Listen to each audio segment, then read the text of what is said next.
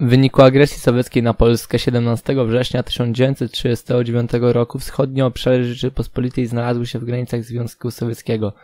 Dla mieszkających tam Polaków oznaczało to zmierzenie się z nową władzą, która wszelkimi sposobami dążyła do wynarodowienia i zrusyfikowania obywateli polskich.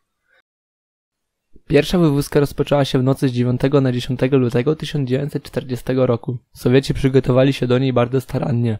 Podczas jednej z narad poprzedzających akcję stwierdzono, że będzie to ogromna odpowiedzialna praca wymagająca wielkiej uwagi i poważnego podejścia oraz bezwzględnej mobilizacji sił i możliwości.